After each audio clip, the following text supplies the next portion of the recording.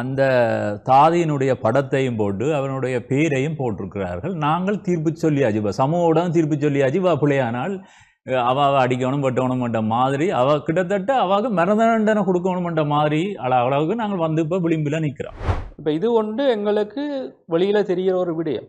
கை அகற்றப்பட்ட விடயம் வெளியில் தெரியும். எங்களுக்கு வெளியில் தெரியாமல் நிறைய நிறைய விடயங்கள். நடந்து கொண்டிருக்கு. ஒரு கவனையினம் அல்லது தவறொன்று நடந்தால் அதற்கு சரியான சட்ட நடவடிக்கை எடுக்கப்பட்டு ஒரு பரிகாரம் ஒன்று வழங்கப்பட்டால் அது இதற்கு பின் மீண்டும் மீண்டும் இவ்வாறு நட நிகழ்வதை கட்டாயம் குறைத்துக் கொள்ளலாம். எங்கள்கிட்ட இருக்கக்கூடிய பெரிய பிரச்சனை இந்த சமூக ஊடகங்களில் எல்லாரும் இருக்கிறதால நாங்கள் நினைச்ச மாதிரி நினைச்ச விதத்தில் தாக்குதல்களை தொடுக்கிறோம். உண்மையாக நாங்கள் எங்களுடைய வைத்தியசாலையில் எல்லாரும் பொதுநா வைத்தியசாலை போகத்தான் வேணுமா? இந்த விடயங்களை புறந்தள்ளவில்லை. நீங்கள் சொன்ன அந்த குழந்தைக்கு ஏற்பட்ட பாதிப்பு இந்த குழந்தையினுடைய குடும்பத்துக்கு ஏற்பட்ட மனத்தாக்கம் கவலை இழப்பு இதுகளை நாங்கள் சிம்பிளாக கடந்து போக முடியாத. ஒரு பெரிய விஷயம். அதை நாங்கள் இது வந்து குற்றவியலா அல்லது குடியியலுக்குள்ள வருமா? போலீஸுக்கு போகலாமா? அல்லது மனித உரிமை ஆணைக்குழுக்கு போனது சரியா? அல்லது எங்க- எங்க முறைப்பாடு கொடுக்கலாம்ன்ற சம்பந்தமாக கூட ஒரு குழப்ப நிலை ஒன்று இருக்கிறத இந்த ஃபேஸ்புக்கில் எழுதுகிறாக்களோ பேப்பரில் எழுதுகிறாக்களுக்கோ மருத்துவ ரீதியாக இல்லாட்டி அந்த துறை சார்ந்து என்ன அறிவு இருக்கின்ற கேள்வி இருக்கு. சட்டம் சில வழியில கருணையற்று கடுமையாக கூட நடந்து கொள்ளக்கூடுமோ என்றுதான் பொதுமக்களின் பார்வை அப்படித்தான். இருக்கிறது இப்ப சட்டத்தை பொறுத்தவர்கள் இவர் குற்றமளித்தார்களா இல்லையா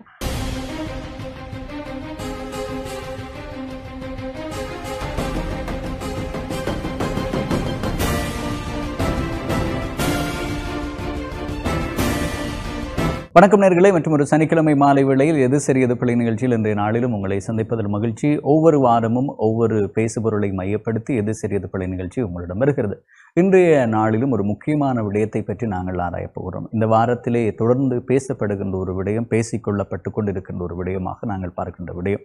எட்டு வயது சிறுமியினுடைய மணிக்கட்டு கை அகற்றப்பட்ட விடயம் தொடர்பான பேச்சு இப்போது சமூக வலைத்தளங்களாக இருக்கலாம் சட்டத்துறை சார்ந்தவர்களாக இருக்கலாம் போலீஸாராக இருக்கலாம் மனித உரிமைகள் செயற்பாட்டாளராக இருக்கலாம்.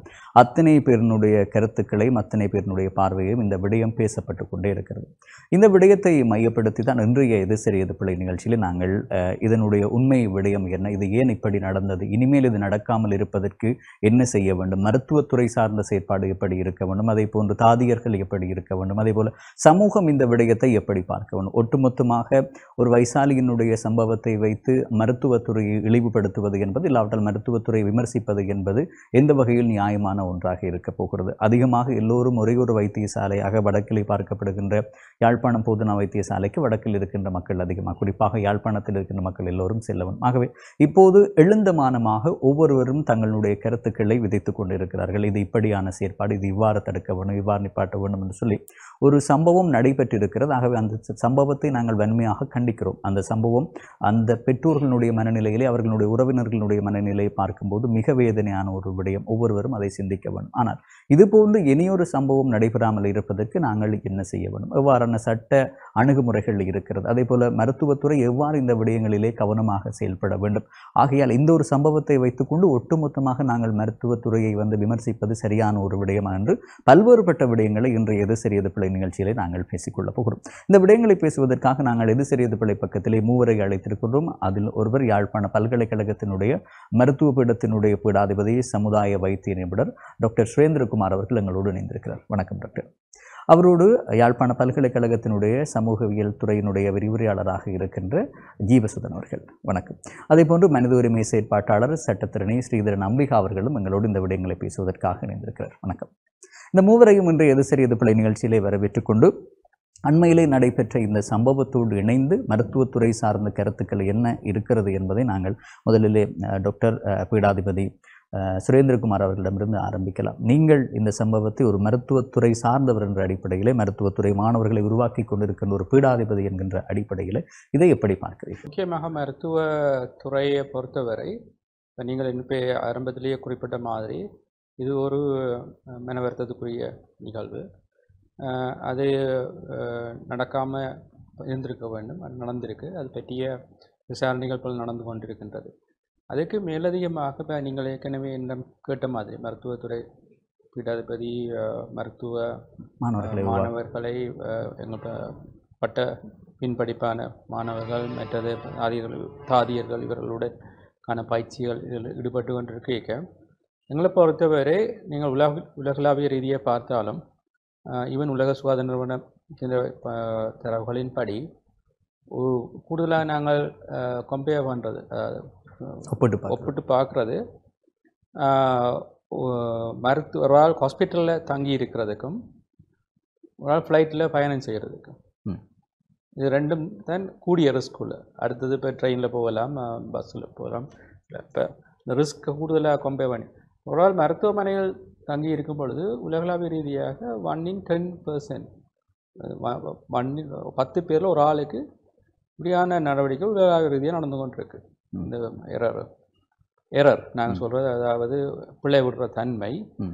நடந்து கொண்டு தான் இருக்குது அதே மாதிரி பிள்ளை ஃப்ளைட்டில் போய் ஒரு ஆள் இறக்குறதுக்கான அது one in three hundred.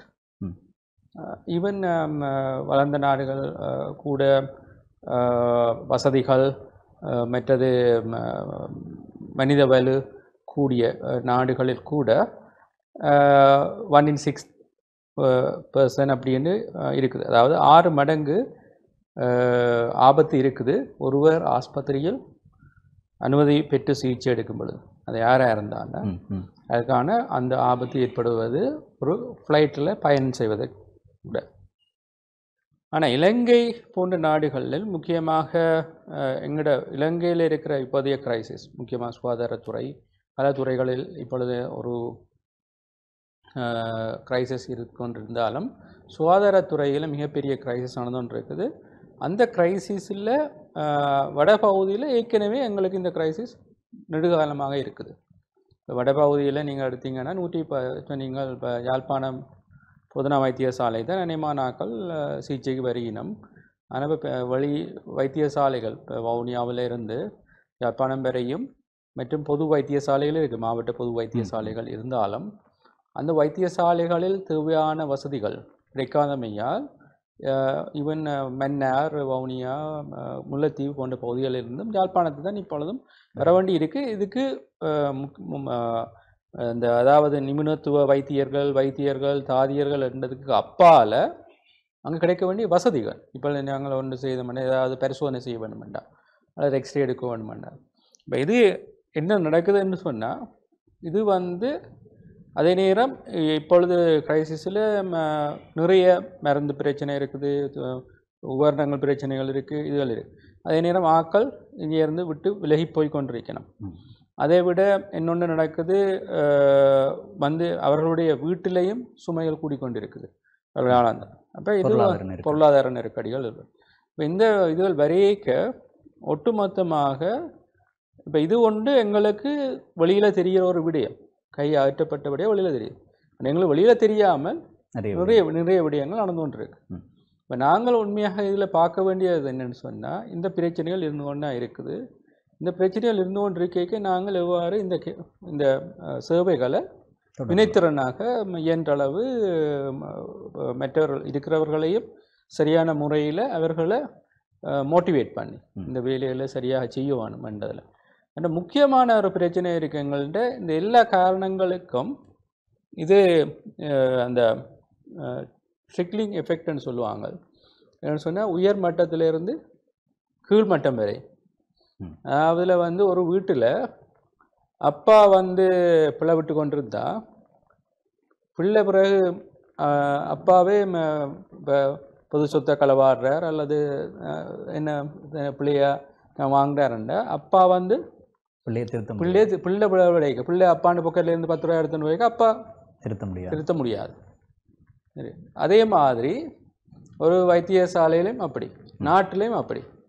அப்போ இது வந்து இன்றைக்கு உங்களை எல்லாருக்கும் தெரியும் இந்த நாட்டில் என்ன மாதிரி மேல் மட்டத்தில் இருந்து கீழ்மட்டம் வரையும் அந்த பிரச்சனை போய்க்கொண்டிருக்கு. ம். இப்போ இதை திருத்துறது வந்து ஒரு சிஸ்டம் மைஸ் பண்ணி சேஞ்ச் வரும். அது இலங்கையில் சரியான கஷ்டமாக இருக்குது.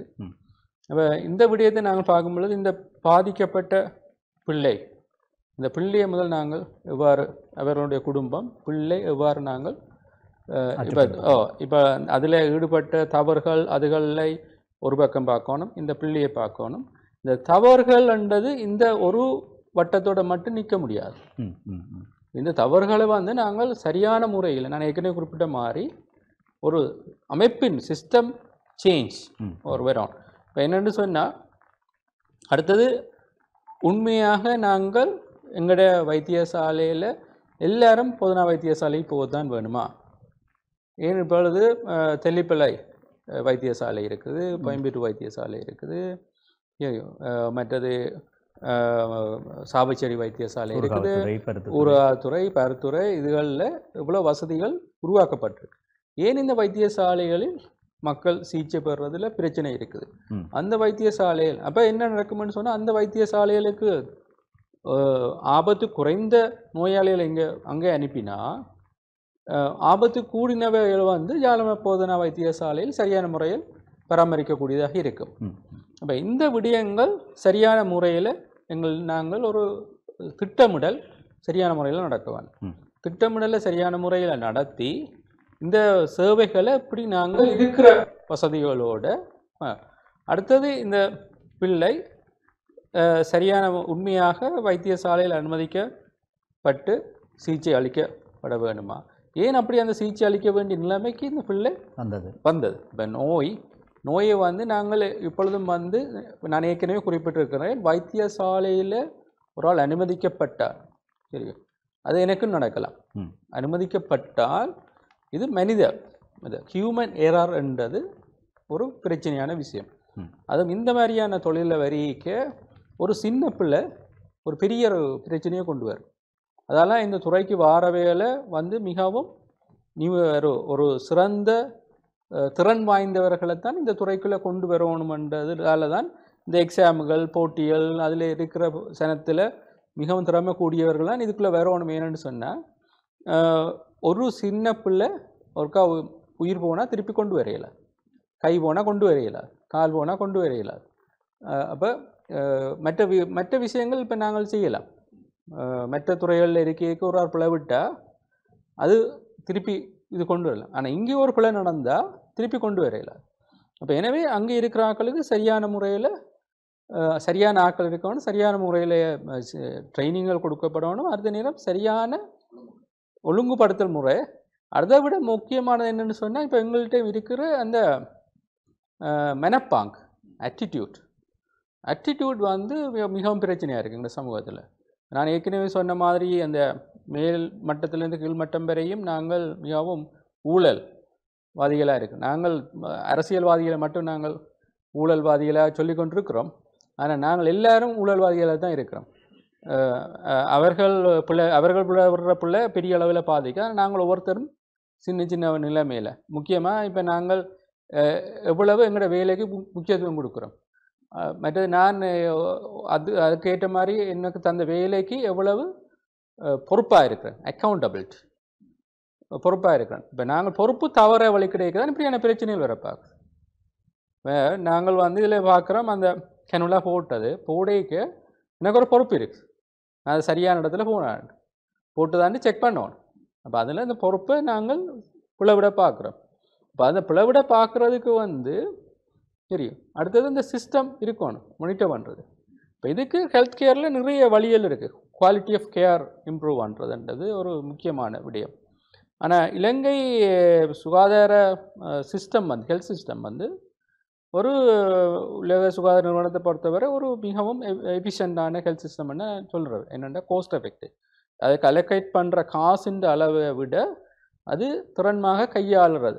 அதுக்கான குறிகாட்டிகள் எல்லாம் உலக நாடுகளில் பல நாடுகளோட ஒப்புடுகையில் இலங்கை நல்லா இருக்குது ஆனால் இப்போ இந்த அண்மைய செயற்பாடுகள் வந்து என்ன நடக்குதுன்னு சொன்னால் இலங்கை ஒரு பின்னோக்கி. சகல துறைகளையும் பின்னோக்கி செல்கிற மாதிரி இந்த மருத்துவத்துறையிலையும் நம்ம பின்னோக்கி செல்கிற ஒரு தன்மையே காணப்படுது. இப்போ எங்கள்கிட்ட இப்போ நீங்கள் சொன்னீங்கள் நாங்கள் நிறைய மருத்துவ மருத்துவர்களை உருவாக்குறோம். அதாவது நிபுணத்துவர்களை உருவாக்குறோம். அதே நேரம் தாதிகர் இவரெல்லாம் எண்ணிக்கையின் அளவில் கூடியிருந்தாலும் அதை சரியான முறையில் ஒருங்கமைத்து டெலிவர் பண்ணுறதுல ஒரு பிரச்சனை இருக்குது. அதனால் system manage managing the system சிஸ்டத்தை மேனேஜ் பண்ணுறதுல ஒரு பிரச்சனை இருக்குது அடுத்தது இப்போ நாங்கள் சிஸ்டத்தை மேனேஜ் பண்ண இப்போ எங்களுக்கு மாடர்ன் டெக்னாலஜிஸ் வந்துடுச்சு. முக்கியமாக டிஜிட்டலைஸ் இன்ஃபர்மேஷன் இதுகளெல்லாம் வெறியிக்க ஆக்களை மானிட்டர் பண்ணுறது மற்ற வேலைகளை செய்கிறது இதுகளெல்லாம் சுகமாக இருக்குது அந்த வகையான வே துறைகள்லேயும் நாங்கள் எங்களோட ஹெல்த் சிஸ்டம் வந்து சரியாக டெவலப் பண்ணப்படுது இப்போ இதுகள் எல்லாம் சேர்ந்து தான் இந்த விடயங்களை உருவாக்கு இப்போ நாங்கள் இன்றைய கதைக்கிறோம். சில வேளை இப்போ நான் ஏதாவது வருத்தம் பண்ணி போயிருந்தாலும் பிழை நடக்கக்கூடிய சாத்தியக்கூறு இருக்குது என்னன்னு சொன்னால் அது நாங்கள் அந்த வேலை செய்கிறவர்களை மட்டும் பல சொல்ல இயலாது. இது பல மட்டங்களில் இருந்து வந்த பிழைகள் காரணமாக கடைசியாக இந்த வகையில் நடந்து கொண்டிருக்கின்றது தான் நான் சொல்ல ஒரு சமூகம் சார்ந்த இந்த விடயத்தை எப்படி பார்க்கிறீர்கள்? இந்த விடயம் தொடர்பாக உங்களுடைய கருத்து அவதானிப்பு? யாழ்ப்பாணம் போதனா வைத்தியசாலை என்பது வடமாகாணத்தினுடைய ஒரு அடையாளம். அதை நாங்கள் தமிழர்களின் அடையாளமாக கூட அதை நாங்கள் பார்க்க முடியும். எப்படி நல்லுரங்களுக்கு இருக்கோ அது மாதிரி நாங்கள் யாழ் போதனா வைத்தியசாலையை தமிழர்களுடைய அடையாளத்திலிருந்து விலத்தி பார்க்க முடியாது. அவ்வளவு தூரம் அது எங்களது வாழ்வோடு பின்னி பிணைந்தது நாங்கள் ஒரு சில உதாரணங்களை சொல்லலாம். இந்த மருத்துவத்துறைக்காக தங்களது உயிரை அர்ப்பணித்த எத்தனையோ வைத்தியர்கள் இருக்கிறார்கள். எத்தனையோ தாதியர் இருக்கிறார்கள். உதாரணமாக நாங்கள் ஒரு விஷயத்தை உங்களை குறிப்பிட்டு காட்டலாம் இந்திய இராணுவத்தின் பிரச்சனைக்குள்ள வைத்தியசாலைக்குள்ளே இருந்து உயிரை விட்ட மக்களோடு உயிரை விட்ட எத்தனையோ வைத்தியர்கள் இருக்கிறார்கள். அவர்களுக்காக ஒரு வார்டிலே அந்த படங்கள் எல்லாம் வைக்கப்பட்டு நினைவு கூறுகின்ற ஒரு நிலைமை காணப்படுகிறது இதுக்கு வெளியிலேயும் பல்வேறு சந்தர்ப்பங்களில் வைத்தியர்கள் உயிரை நீத்த சம்பவம். இலகுவாக அவர்கள் நாட்டை விட்டு வெளியில் போகக்கூடிய வாய்ப்பு வைத்தியர்களுக்கு எங்கேயும் போகலாம். எந்த நாடுகளுக்கும் அவர்களுக்கு அவர்களுடைய தரம் வந்து இல்லாட்டி அவர்களுடைய கல்வித்தரம் வந்து அவர்களுக்கு ஒரு என்ட்ரி டிக்கெட் மாதிரி அவர்கள் எங்கேயும் போகலாம் வரலாம். அவ்வாறாக இருக்கின்ற சந்தர்ப்பத்திலே இந்த மக்களுக்காக இந்த தேசத்துக்காக உயிரை நீத்தவர்கள் எல்லாம் இருக்கிறார்கள். அது ஒரு பக்கம் இருக்கு. இன்றைய கொரோனா வந்து பெருமளவுக்கு கட்டுப்படுத்தப்பட்டதுக்கு வைத்தியர்களின் அர்ப்பணிப்பான சேவை ஒரு முக்கியமான விடயம். நாங்கள் அந்த அதை மறந்துடக்கூடாது. இங்கே இருக்கக்கூடிய அந்த மல்டி ஸ்பெஷாலிட்டி அதாவது வந்து பல்வகை பல்வகை விசேட நிபுணத்துவம் வாய்ந்த வைத்தியம் இங்கே இருக்கு.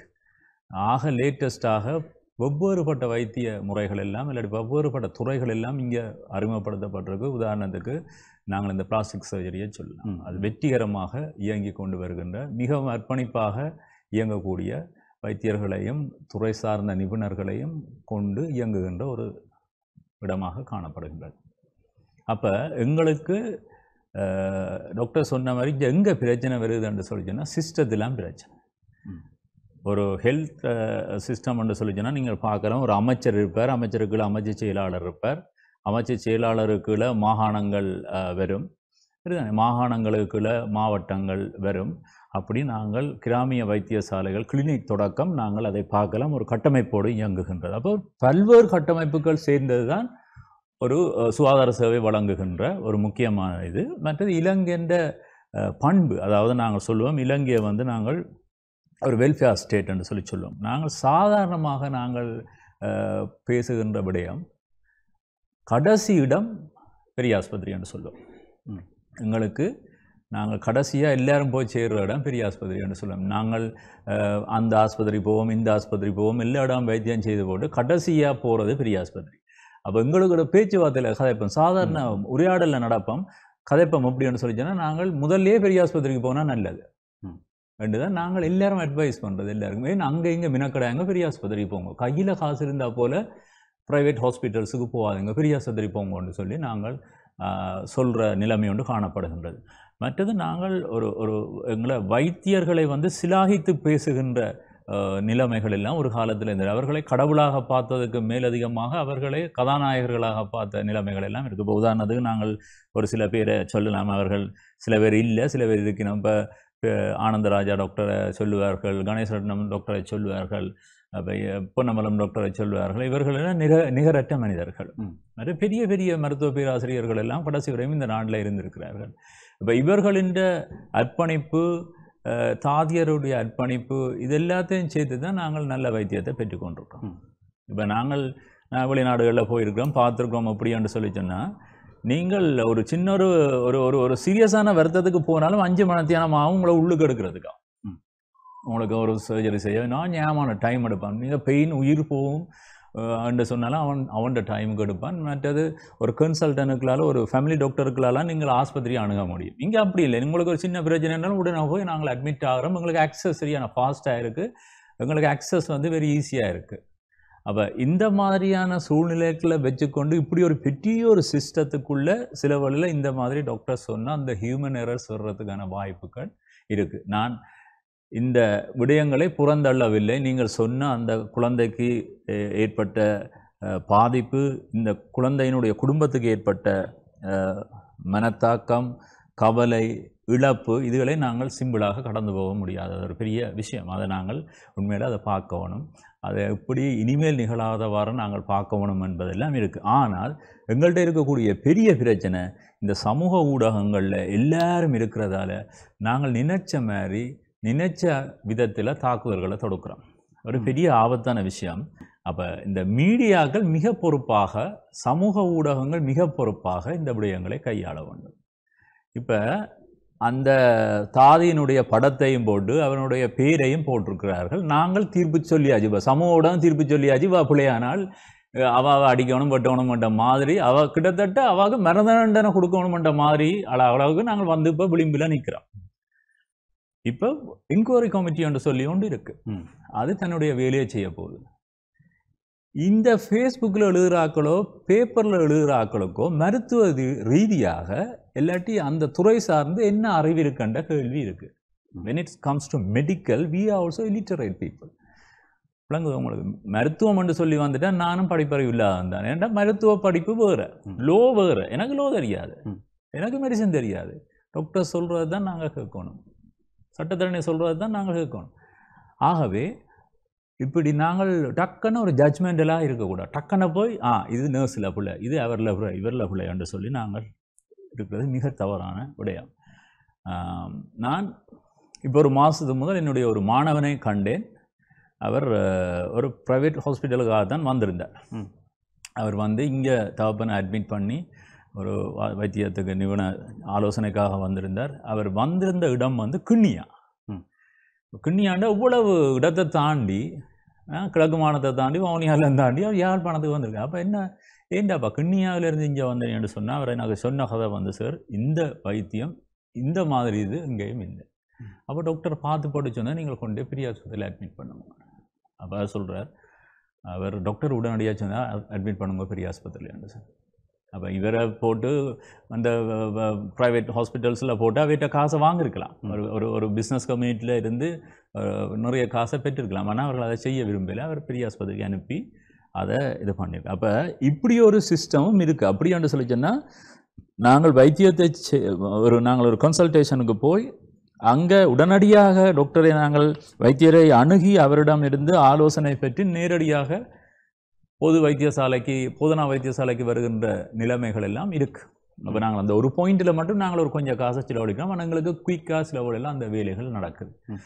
அப்படி எங்களுக்கு இவ்வாறான கசப்பான ஒரு சில அனுபவங்கள் தவிரவும் எங்களுக்கு வைத்தியசாலைகள் பற்றி இருக்கக்கூடிய அனுபவங்கள் என்னை பொறுத்தவரையில் நல்ல விடயங்களாகத்தான் இருக்கின்றது.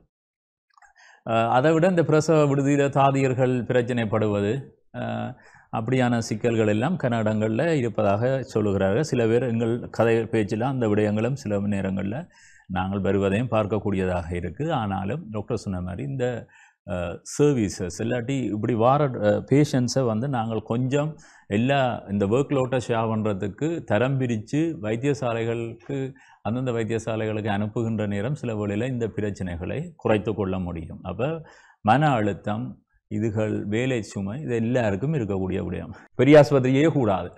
அல்லது சுகாதாரமே கூடாது என்று சொல்லி நாங்கள் ஒரு முடிவுக்கு வரக்கூடாது அம்பிகா ஸ்ரீதரன் அவர்கள் ஒரு சட்டத்தரணியாக ஒரு மனித உரிமை செயற்பாட்டாளராக இந்த விடயங்கள் நீங்கள் எப்படி பார்க்கிறீர்கள்? என்னுடைய பார்வையை பொறுத்தவரையில் நான் நினைக்கிறேன் சில நேரம் ஆஹ் மதிப்புக்குரிய எங்களுடைய டீன் அவர்கள் கூறியதற்கும் டாக்டர் ஜீவசுதன் அவர்கள் கூறியதற்கும் சில வேளைகளில் சில முரண்பாடுகள் இருக்கலாம். ஏனென்றால் இருவரும் மிகவும் மிகுந்த கருணை உள்ளத்தோடு வேலை செய்கின்ற ஒரு துறையைச் சேர்ந்தவர்கள் என்று நான் நினைக்கிறேன். ஆனால் சட்டத்தை பொறுத்தவரை சட்டம் சில வழியில் கருணையற்று கடுமையாக கூட நடந்து கொள்ளக்கூடுமோ என்றுதான் பொதுமக்களின் பார்வை அப்படித்தான். இருக்கிறது. இப்போ சட்டத்தை பொறுத்தவர்கள் இவர் குற்றமளித்தார்களா இல்லையா? எங்களுடைய இப்போ உதாரணத்துக்கு என்னுடைய வாழ்க்கை எடுக்க ஒரு தனிப்பட்ட நபராக எனக்கு கு- குழந்தை இருக்கிறது பொறுப்பு இருக்கிறது. என்னுடைய வேலை பழி சட்டத்திறனியாக என்னுடைய கடமையை செய்ய வேண்டும். மனித உரிமை செயற்பாடுகளிலும் பங்கெடுக்க வேண்டும். அதே நேரம் என்னுடைய அலுவலகம் சட்டத்துக்கு மனித உரிமைக்குமான நிலையத்தின் பணிப்பாளராக இருக்கிற அந்த கடமையும் செய்ய வேண்டும். அதே நேரம் பொருளாதார சிக்கலும் தற்போது உள்ளது. ஏனென்றால் பல மடங்கு வெளியேற்றங்கள் கடுமையான அழுத்தங்களுக்கு மத்தியில் நான் இருக்கும்போது இரவு எட்டு மணிக்கு ஒரு கிளையண்ட் ஒருவர் வந்து என்னிடம் ஒரு அட்வைஸ் கேட்கும்போது நான் என்னுடைய வேலைப்பளு காரணமாக நான் ஒரு தவறான ஆலோசனையை வழங்க முடியாது என்பதுதான் என்னுடைய கருத்து.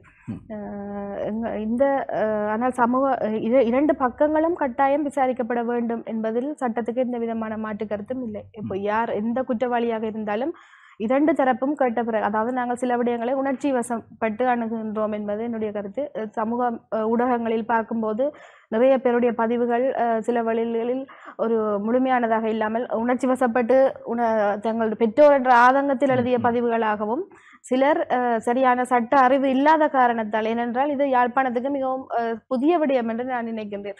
நிறைய விடயங்கள் மருத்துவ கவன இனம் அல்லது பொதுவான கவன இனங்கள் நடந்தாலும் அதற்கு நாங்கள் எவ்வாறு இதுவரைக்கும் ஏதாவது நடவடிக்கை எடுத்திருக்கின்றோமா என்றதும் கேள்வி.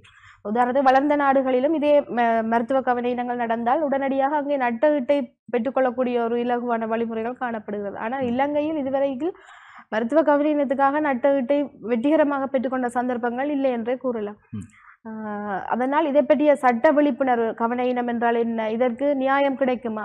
பொதுவாக சமூக ஊடகங்களில் எழுதுபவர்கள் இதை நாங்கள் கவலைப்பட்டு கடந்து போய் விட மட்டுமே எங்களால் முடியும் என்ற ஒரு ஆதங்க துணியிலும் எழுதுவதை நாங்கள் பார்த்திருக்கின்றோம்.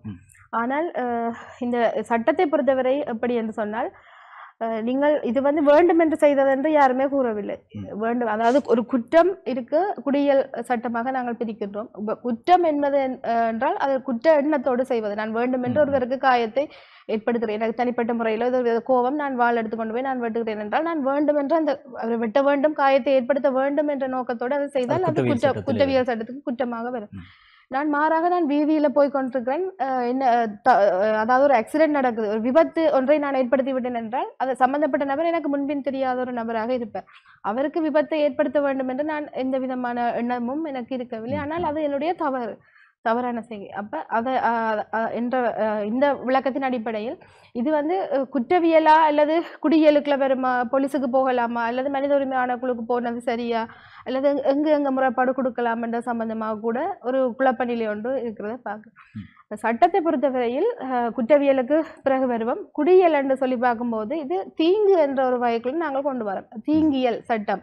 அதாவது தீங்கு என்பது ஒரு பிழையான செயல். ஆனால் குற்ற மனம் இல்லாமல் ஒரு பிழையான செய்கை ஒன்று புரிந்தால் அது தீங்குயாக கொள்ளப்படலாம். எங்களுடைய நாட்டை பொறுத்தமட்டில் இந்த இந்த விபரத்துக்கு இந்த விடயத்துக்கு நாங்கள் ரோம டச்சு சட்டத்தை தான் இன்னும் பாவிக்கிறோம். ஏனென்றால் தீங்கியல் தொடர்பாக பாராளுமன்றத்தால் இயற்றப்பட்டு வந்த உதாரணத்துக்கு ஒரு மோட்டார் டிராஃபிக் ஆக்ட் மாதிரியோ அல்லது வேறு சட்டங்கள் மாதிரி பாராளுமன்றத்தால் இயற்றப்பட்ட சட்டம் வந்து இது இதற்கு நேரடியான சட்டம் இல்லை. அதனால் நாங்கள் இன்னும் ரோமன் டச்சு சட்டத்தில் உள்ள டீலிக்ட் என்ற கோட்பாட்டை தான் நாங்கள் பாவித்து வருகின்றோம். இந்த இதில் வந்து ஒரு தீங்கு என்று நடைபெறும் என்று நாங்கள் நிரூபிக்க வேண்டும் என்றால் அதில் சில விடயங்கள் முக்கியமாக தீர்ப்பு சட்டங்கள் ஒரு மூன்று விடயங்களை குறிப்பிடுகிறார்கள். ஒன்று வந்து அங்கு ஒரு கவனக்கடப்பாடு இருக்க வேண்டும். அதாவது நான் இன்னொருவருக்கு எனக்கு டியூட்டி ஆஃப் கேர் ஆங்கிலத்தில் சொல்லுவோம். கவனம் எடுக்க வேண்டிய தேவைப்பாடு இருக்க வேண்டும்.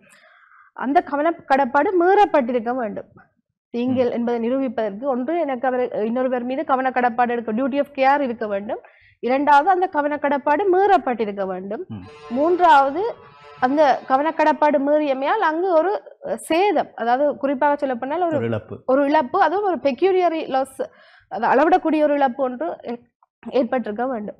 இந்த அடிப்படையில் ஆஹ், நாங்கள் ஒரு மருத்துவருடைய கண்காணிப்பில் இருக்கும்போது அல்லது மருத்துவ விடுதியில் நாங்கள் இருக்கும்போது அது இப்ப கவனக்கடப்பாடு என்றால் என்னென்று இலகுவாக சொல்லலாம் இப்ப நான் ரோட்ல சைக்கிள் ஓடிக்கொண்டு போறேன் மோட்டார் பைக் ஓடிக்கொண்டு போறேன்னால் எனக்கு அந்த வீதியில் என்னுடன் பயணிக்கும் சக சாரதிகள் மீது எனக்கு வீதி பேசஞ்சர்ஸ் மீது எனக்கு ஒரு கவனக்கடப்பாடு இருக்குது. ஒரு பிளேன் டிரைவ் ஓடிக்கொண்டு போற பைலட்டுக்கு அந்த பேசஞ்சர்ஸ் மீது ஒரு கவனக்கடப்பாடு இருக்குது எனக்கு உலகத்தில் உள்ள எல்லாரை பற்றியும் நான் கவனப்பட்டு கவலை கவனம் எடுத்துக்கொண்டிருக்க முடியாது. அப்ப யார் யாருக்கு இந்த டியூட்டி ஆஃப் கேர் இருக்கிறது? தொடர்பாக சில சட்ட விதிமுறைகள் இருக்குது. அப்ப என்னட்ட வர கிளையன்ஸுக்கு எனக்கு கண கவனம் எடுக்க வேண்டிய கடப்பாடு இருக்குது. அப்ப அது எந்த யார் யாருக்கு இருக்கான்னு சொல்லி தீர்மானிக்கலாம். அப்ப இந்த வகையில ஒரு மருத்துவருக்கு ஒரு விடு அல்லது விடுதி பொறுப்பான வைத்தியருக்கு அல்லது அந்த வைத்திய இதுல நிறைய லைபிலிட்டி வரும். உச்சக்கட்டம் வரைக்கும் உயர் பதவியில் இருக்கிற வைத்திய பணிப்பாளர்ல இருந்து அதுக்கு அடுத்த கட்டத்தில் இருப்பவர்கள் வரைக்கும் அந்த கவனக்கடப்பாடு வந்து தங்களுக்கு கீழே இருக்கிறவர்கள் மீது இருக்கும் அது ஒவ்வொ- ஒவ்வொரு விதமாக அதை நாங்கள் தீர்மானித்துக் கொள்ள முடியும் இந்த கவனக்கடப்பாடு மீறப்பட்டிருக்கிறதா என்று பார்க்க வேணும் ம். இப்போ நெக்லிஜென்ட் சொன்னால் ப்ரொஃபஷனல் நெக்லிஜென்ட்ல வந்து ஒரு டாக்டர் வந்து ஒரு எக்ஸ்பர்ட் அதாவது ஒரு கன்சல்டன்ட் அறிவை கொண்டு ட்ரீட் பண்ண வேணும் என்று நாங்கள் எதிர்பார்க்க முடியாது. இப்போ சில வழியில் ஒரு ட வேற ஒரு ஆல்டர்னேட்டிவ் ஒரு பெட்டர் ட்ரீட்மெண்ட் ஒன்றை சூஸ் பண்ணலைன்றதுக்காக நாங்கள் அவரை நெக்லிஜென்ட் சொல்ல முடியும். இந்த விஷயத்தில் நான் நினைக்கிறேன் இந்த இந்த தொ- ஆயிரத்தி தொள்ளாயிரத்தி தொண்ணூற்றி ரெண்டாம் ஆண்டு இதே மாதிரி ஒரு ஒரு அரசகுலரட் என்றவருடைய ஒரு குழந்தை நான்கு வயது குழந்தை ஒன்று ஒரு வைத்தியசாலையில் அனுமதிக்கப்பட்டிருந்த போது பீடியாட்ரிஷியன் ப்ரொஃபஸர் பிரியாணி சொய்சா அவர் அண்மையில் இந்த வருடம் தான் அவர் காலமாகி இருந்தார் தொண்ணூற்றெட்டு தொண்ணூற்றெட்டு வயதில் நினைக்கிறேன். நாங்கள் எல்லாரும் படிக்கிற வழக்கு அது. மெடிக்கல் நெக்லிஜென்ஸ் வரைக்கும் அதாவது நெக்லிஜென்ஸ் வரைக்கும் எல்லா சட்டத்திறனிகளும் படி படிக்கிற வழக்கு. பிரியாணி சொய்சா வர்சஸ் அரச குலரட்னு இணையதளங்களில் கூட நீங்கள் பார்க்கலாம். அந்த வழக்கில் சொல்லப்பட்ட விடயம் இலங்கையில் ஒரு தீர்க்கப்பட்ட அஹ், உச்ச உயர்நீதிமன்றத்தால் தீர்க்கப்பட்ட வழக்காக இது இருக்குது.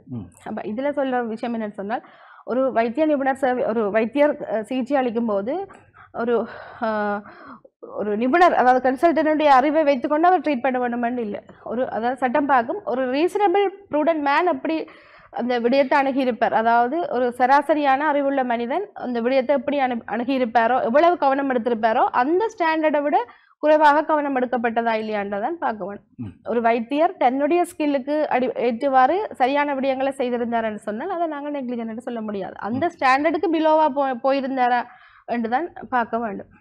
அந்த அதுதான் breach breach of duty of care அங்கே நாங்கள் அனலைஸ் பண்ணலாம். அந்த பிரியாணி சொய்சா வழக்கிலையும் சொல்லப்பட்ட விடயம் அதுதான். அந்த டாக்டர் பீடியாட்ரிஷியன் வந்து அஹ், அந்த- வழக்கில் பீடியாட்ரிஷியன் வந்து நெக்லிஜென்ட்டாக காணப்பட்டிருந்தாலும் நாங்கள் இழப்பீடு கொடுக்கவில்லை. அது வேறு விஷயம். இந்த அடுத்ததாக வந்து இதை இந்த பிரீச் ஆஃப் டியூட்டி ஆஃப் கேர்னு அதாவது டியூட்டி ஆஃப் கேர் மீறப்பட்டதால் கவனக்கடப்பாடு கடமை உடைப்பட்டதால அங்கே சேதம் விளைவிக்கப்பட்டதான்னு பார்க்க வேணும். அது நேரடியாக அந்த கவனக்கடப்பாடு எடுக்காமல் அதாவது நெக்லிஜென்ட் ஆக்டால தான் இந்த சேதம் வந்ததான்னு பார்க்க வேணும்.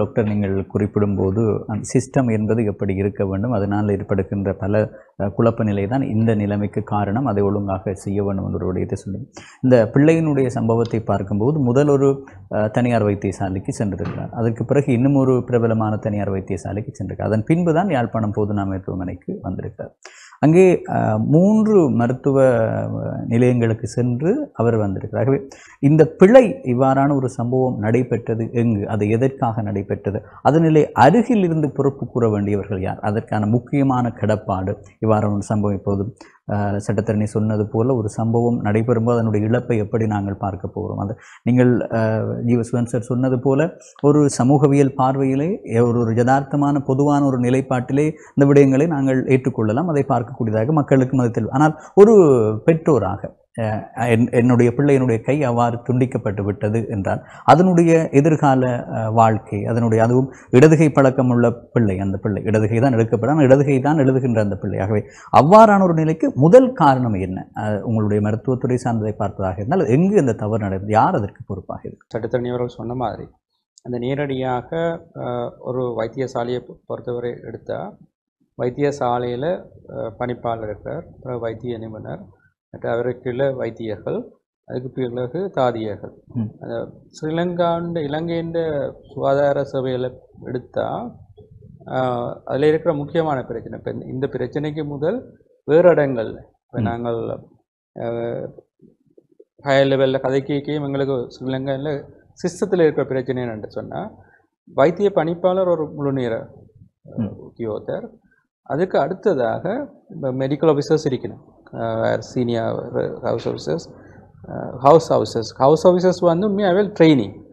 அதாவது அவைகள் எம்பிபிஎஸ் செய்த பிறகு அவர் ஒரு ட்ரைனியாக ஹவுஸ் ஆஃபீஸர்ஸ் பிறகு தாதியர். கன்சல்டன்ட் வந்து விசிட்டிங் கன்சல்டன்ட் தான் சொல்லுங்க விசி விசிட்டிங் ஸ்பெஷலிஸ்ட். அவர் வருகதர்றா ம். அண்டு தான் எங்களோட சிஸ்டத்தில் இருக்குது. இப்போ எங்களோட சிஸ்டத்தில் இடையில ஒரு ஆக்கள் இல்லை இப்போ மெட்ட கண்ட்ரிகளில் இப்போ சில இடங்களில் ஹாஸ்பிட்டலில் வேலை செய்கிறதுக்கு நடுநிலைமை ரிஜிஸ்டார்ஸ் இருக்கிறேன். அவையே அந்த ஓட்டுகளை மேனேஜ் பண்ணுறது இப்போ இங்கே வந்து அந்த எல்லா லெவல்லையும் இந்த இஷ்யூவில் பிரச்சனை இருக்குது. இப்போ அதை நான் அதை கருத்து சொல்ல விரும்பல இது நேரடியாக ஏர்ப்பில் இவர்ப்பில் எங்கே நடந்தது என்ற விஷயத்தை நான் சொல்ல வர விரும்பல ஆனால் எங்களுக்கு என்னென்னு சொன்னால் இதே மாதிரி எங்களோட சிஸ்டத்தில் இருக்க வேண்டியது நாங்கள் சொல்கிறது ஓடிட் மெடிக்கல் ஓடிட். இப்போ ஓடிட்டுன்னு சொன்னால் எல்லாருக்கும் தெரிஞ்சிருக்கும் ஃபினான்ஷியல் ஆடிட்டை பற்றி தான் பார்க்குறது. ஆனால் இந்த மெடிக்கல் ஆடிட் மிக மிக முக்கியமானது. அதில் வந்து இந்த விஷயங்கள் நடந்திருக்கு. இந்த பிள்ளைக்கு ஒரு தவறு நடந்திருக்குது. இது அவருக்கு உண்மையான ஒரு அதாவது இன்னும் வளர்ற போகிற பிள்ளை எத்தனையோ எதிர்காலம் இருக்கிற பிள்ளை அந்த பிள்ளைக்கு நாங்கள் இப்போ தவறு வந்தபடியே இது செய்தாலும் அது அது அது.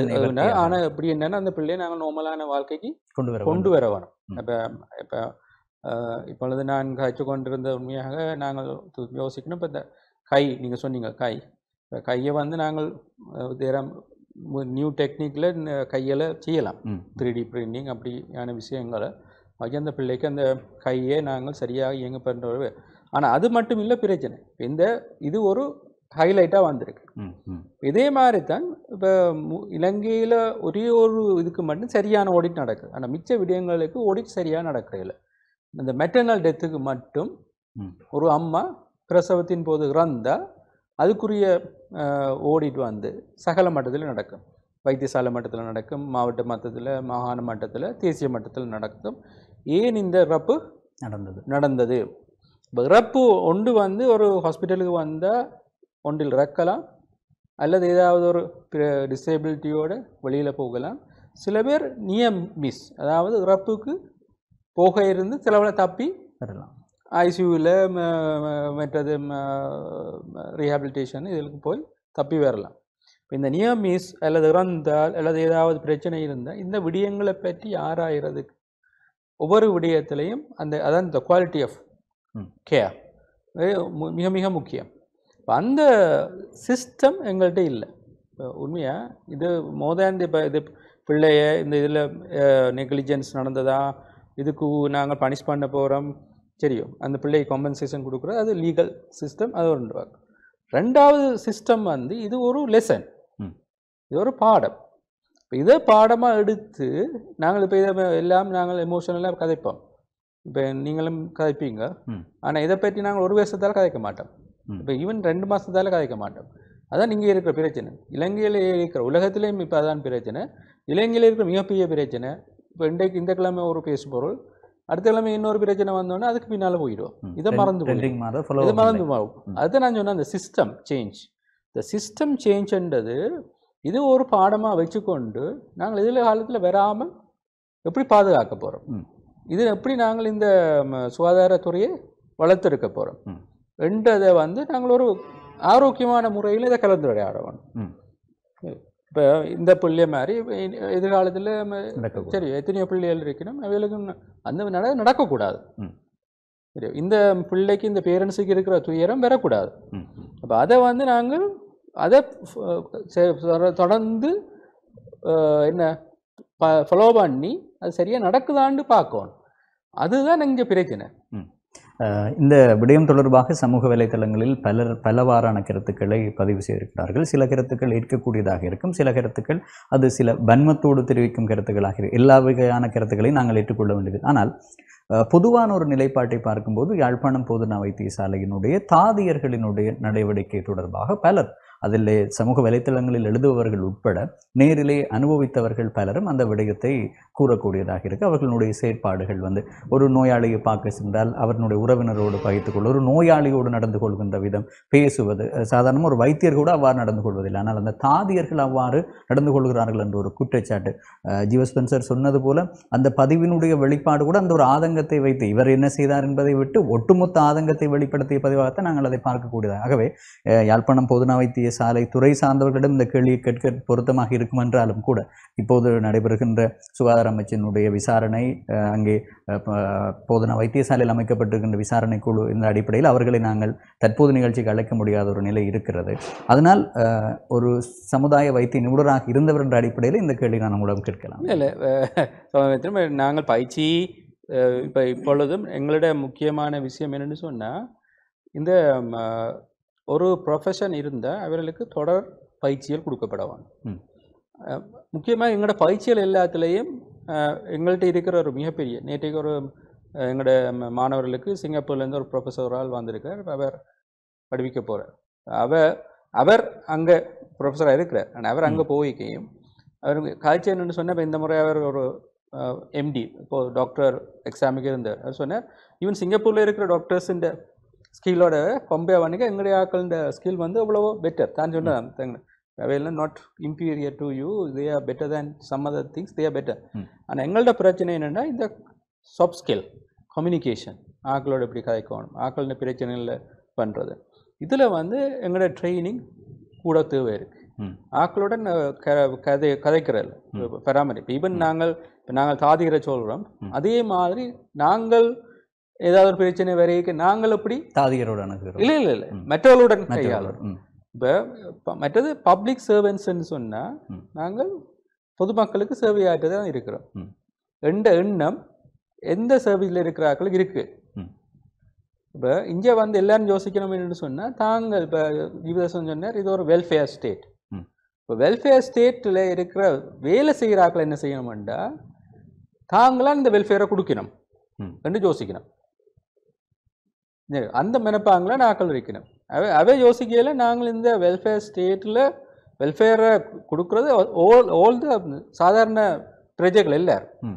அவர்களுடைய இந்த டேக்ஸ் மணி சரி அந்த மணியில் இவர்களுக்கு வேலை சம்பளம் கொடுத்து வேலை இருக்குது.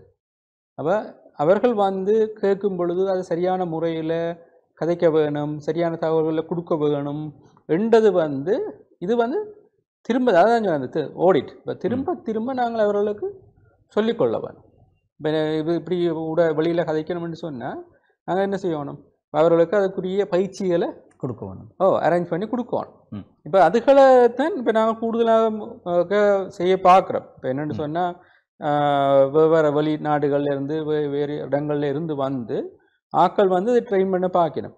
ஆனாலும் இன்னும் எங்களுடைய அந்த சின்ன வயசுல இருந்து வந்த பழக்கம். இப்போ நாங்கள் ஒருவர் கேட்டால் இப்போ நீங்கள் ஒருக்கா ஜப்பானுக்கு போய் ஒரு ரோட்டை கா கண்டுபிடிக்கணும் ஒரு பில்டிங்கை கண்டுபிடிக்கணும்னு கேட்டிங்கன்னா அவர் சில அவைக்கு சிலவோட இங்கிலீஷும் தெரியாமல் இருக்கு. ஆனால் எங்களை கூட்டிக்கொண்டு போய் சிலவில் எங்களோட நூறு இருநூறு மீட்டர் நடந்து வந்து அந்த இடத்த காட்டி போட்டு தான் போகிறோம் நாங்கள் ஒரு இடத்துல போய் இங்கே ஒரு ஊரில் நாங்கள் கேட்டோம்னு சொன்னால் சரி சிலவில் எங்களுக்கு அடிக்காத குறையா ம். கதை சொல்லுவேன். இது நான் ஒரு உதாரணம். சொல்கிறேன் இது எங்களுக்கு இந்த எங்களிடம் ஒரு சாஃப்டாக அது மென்மையாக விடயங்களை கையாளுற தன்மையில் எங்களுக்கு ஒரு பெரிய பிரச்சனை இருக்குது. இப்போ அது வந்து கூடுதலாக அங்கே ரிஃப்ளெக்ட் பண்ணது என்னன்னு சொன்னால் தாதியர்கள் என்று பற்றாக்குறை. இப்போ நீங்கள் எடுத்தீங்கன்னு சொன்னால் யாழ்ப்பாண போதனா வைத்தியசாலையை பொறுத்தவரை கிட்டத்தட்ட இப்பொழுது நூற்றி இருபத்தஞ்சுக்கு மேற்பட்ட நிபுணர்கள் இருக்காரு. ஆனால் அங்கே இருக்கிற மருத்துவர்கள் எண்ணிக்கை வந்து முந்நூற்றி பத்து.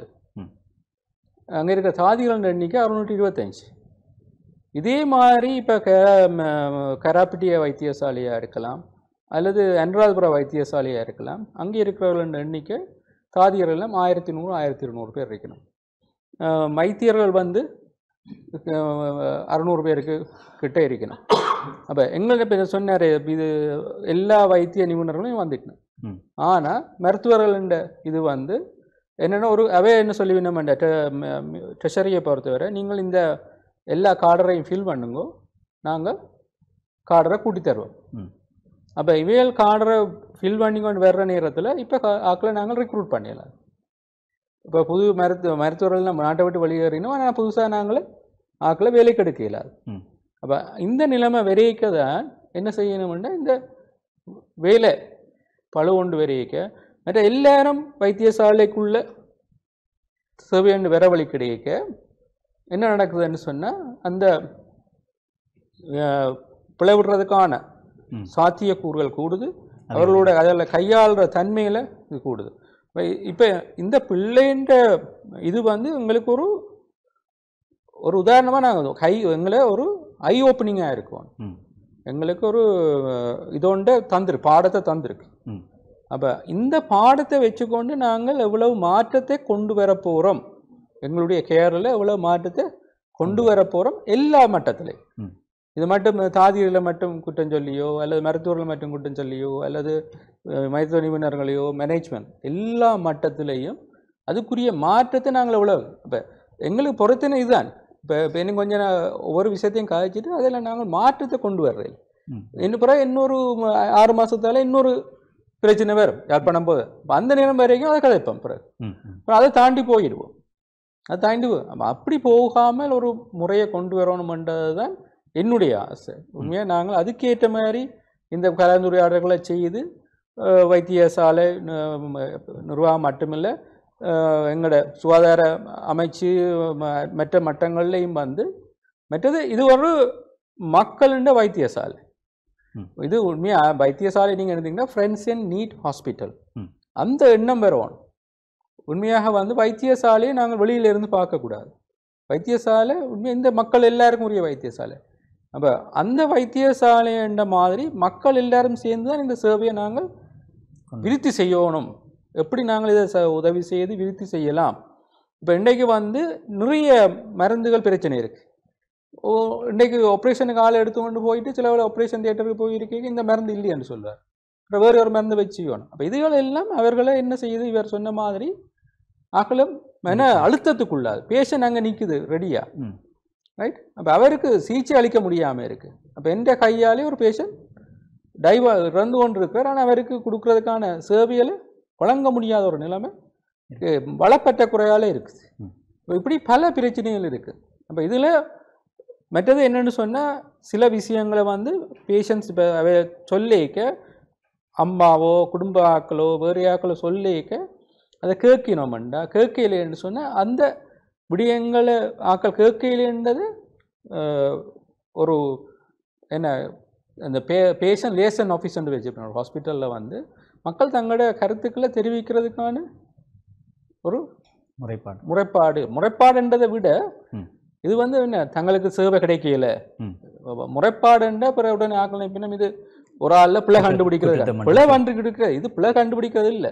எப்படி எங்களுக்கான இந்த நிறுவனம் எங்களுடைய மக்களுக்கான நிறுவனத்தால எப்படி நல்ல சேவைகளை செய்ய முடியும். செய்ய முடிய வைக்க வைக்க வேணும். என்றதுக்கான கருத்துக்களை நாங்கள் வெளியிலேருந்து எடுக்கணும் ம். இப்போ சமூக வலயத்திலேருந்து வர கருத்துக்களை நாங்கள் சரியாக எடுக்கணும் ம். அதில் எடுத்து நாங்கள் உண்மையாக இப்போ தவறுக்குரிய அந்த பிரச்சனைகளை அதுக்குரிய இங்குவாரி டிபார்ட்மெண்டல் இங்குவாரி வெளி வெளி இங்குவாரி அதுகள் நடந்து அது ஒரு பக்கம் போக இந்த சிஸ்டத்தை எப்படி நாங்கள் ஒருங்கமைச்சு செய்யலாம் என்று பார்க்க வேணும். ரெண்டாவது இந்த மூன்றாவது இந்த பிள்ளைக்கு நாங்கள் எப்படி இந்த ஏற்கனவே அது பாதிப்பை நாங்கள் நிவர்த்தி ஃபுல் மு முழுமையாக ஒரு நாளும் நிவர்த்தி செய்ய முடியாது ஆனால் எப்படி அந்த பிள்ளைக்கு சரியான வாழ்க்கையை கொண்டு போகிறதுக்கு. ஒரு ஒரு வழியை நாங்கள் சரியாக ஏற்படுத்தி கொடுக்கணும் ஆனால் மோ மேலும் எதிர்காலத்தில் இப்படியான ஒரு பாதிப்பு வர வராதுன்னு சொல்ல இயலாது ஆனால் வர்ற சந்தர்ப்பத்தை நாங்கள் குறைத்துக் கொள்ள வேண்டும். எவ்வளவோ முயன்று குறைக்க வேண்டும். இந்த விடயம் இனிமேல் நடைபெறாமல் இல்லாவிட்டால் இவ்வாறான ஒரு சம்பவத்தை நாங்கள் ஏற்றுக்கொள்ளாமல் இருப்பதற்கு எவ்வாறாக செயற்பட வேண்டும்? இது சமூகமாக இருக்கலாம் மருத்துவத்துறை சார்ந்தது யாராக இருக்கலாம் அது எவ்வாறான கட்டமைப்பை கொண்டு வர வேண்டும் என்று நீங்கள் எதிர்பார்க்க இதை வந்து நான் சிம்பிளாக சொன்னால் ஒரு மல்டி ஸ்டேக் ஹோல்டர் ரெஸ்பான்சிபிலிட்டி பல்வேறுபட்ட தரப்பினரும் இதுக்கு பொறுப்பு பொறுப்பு கூற வேண்டும் இல்லை பொறுப்பு பொறுப்பு எடுக்க வேண்டும் பொறுப்பு கூறுறதுன்றது நாங்கள் இது நடந்து முடிந்த விஷயம். இனிமேல் நாங்கள் அதை பொறுப்பாக இருக்க வேணும். நாங்கள் இதில் முதல்லே குறிப்பிட்டது போன்று அவர்களை இந்த போதிய அளவு பணியாளர்கள் நியமிக்கும் வரையும் இது ஒரு ரிஸ்கான ஒரு வேலையாக தான் இருக்க போகுது. அதுவும் குறிப்பாக தாதியர் துறையில். ஆகவே நாங்கள் இருக்கக்கூடிய தாதியர்களுக்கு ரிஃப்ரெஷர் ட்ரைனிங் என்று சொல்லி சொல்வார்கள். அது அடிக்கடி ஏற்கனவே டாக்டர் சொன்னது போன்று அவர்களுக்கு அவர்களது பொறுப்புகள் அழுத்தப்பட வேண்டும். அதை திரும்ப திரும்ப நினைவூட்டப்பட வேண்டும். இப்போ எங்களுக்கு ஒரு உதாரணத்துக்கு போதைப்பொருள் ஒழிப்பு என்று சொல்லி சொன்னால் நாங்கள் போய் ஒரு ஒரு கிராமத்தில் ஒரு நாளைக்கு போய் ஏதாவது காலேஜ் போட்டு போடுறோம். இல்லாட்டி ஜிஎஸ்சிൻ്റെ ஆஃபீஸில் பார்த்தா ஒரு நோட்டீஸ் இருக்கும். இல்லாட்டி எங்களுக்கு டிஎஸ். ஆஃபீஸில் பார்த்தா ஒரு நோட்டீஸ் இருக்கும். போதையற்ற நாடு. போதையற்ற நன்னறியான. சமுதாயம் உருவாக்கம் கொண்டுவோனா அந்த போட் அது தண்ட பாட்டில் பாவம் இருக்கும் சரியா இது எப்படி என்று சொல்லி சொன்னால் ரீஇன்ஃபோர்ஸ்மெண்ட் என்று சொல்லி சொல்வார்கள் மீள மீள ஒரு விடயத்தை வலியுறுத்தினால் மட்டும்தான். அந்த விடயம் எங்களோட மூளைக்குள்ளே போகும் அதை எங்களுக்கு எல்லா இடத்துலையும் அதை நாங்கள் ஞாபகப்படுத்தணும் இப்படி ஒரு பொறுப்பு இருக்கின்றதை நாங்கள் எந்த வகையிலையும் நாங்கள் திரும்ப திரும்ப ஞாபகப்படுத்துவது திரும்ப திரும்ப சொல்லுவது நிச்சயமாக அது ஒரு நல்ல ஒரு இது விளைவை ஏற்படுத்தும். நாங்கள் ஏற்கனவே சொன்ன மாதிரி நியாயமான பிரச்சனைகள்ல இருக்கக்கூடிய சமூகம். இப்போ பொருளாதார யுத்தம் முடிஞ்சது பொருளாதார பிரச்சனை வந்து கொண்டிருக்கு. அப்போ இதில் பெரும்பாலும் எல்லாருடைய ஸ்ட்ராட்டஜியும் எப்படி இருக்கும்னு சொல்லி சொன்னால் சர்வைவல்.